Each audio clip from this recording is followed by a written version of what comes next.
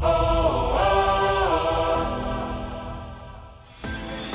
Labas vakaras, krepšiniai stroliai. Sveiki atvykę į Klaipėdą iš Vidurio areną. Rungtynės, kurias pristato Antėja. Antrosios šio sezono BetSafe LKL rungtynės tarp e, Klaipėdos, Neptūno ir Kauno Žalgirio.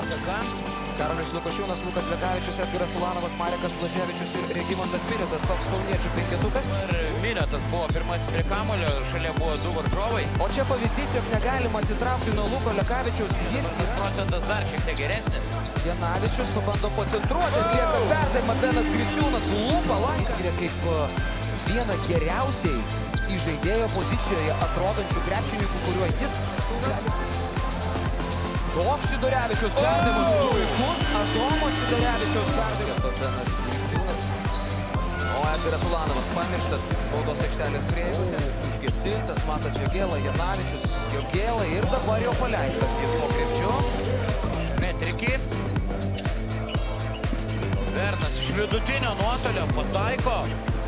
Septyni taškai, Neptūnas mažina atsilikimą. Kairė pusė paleidžia Titas Sargiūnas Žygimantą Janavičius. Septynis net perdavimus atlieka šį sezoną. Vinetas absoliučiai laisvas ir nutraukia ilgą, labai ilgą žalgerį kamulio.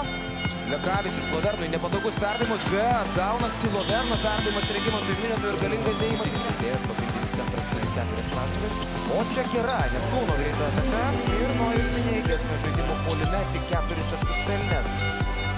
O kaip Džiofri Lovernas jėgos Kavičius įsivedė Želionį, meta iš toli. Pirmus du tritaškius pataikęs šiandien Lukas, du iš eilės meta pro šalį, Edgaras Ulanovas. Žalinė Žygimantas Janavičius prieš trečiąjį kelnį kalbėjo apie tai, kad daug jėgų reikalauja toks tempas ir nežinojo Žygis Akius Čederevičius. Randa Mažeika.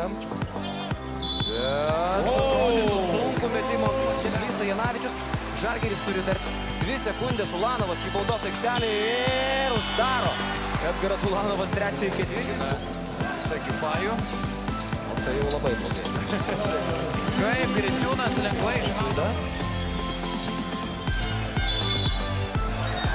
Vis dėlto Janavičiai buvo įrašyta klaida. Tumas devintoji vieta.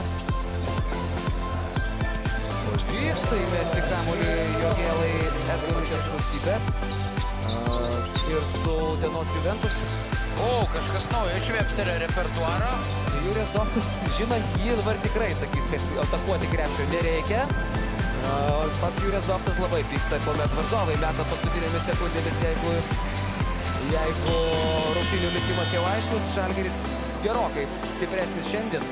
77-60.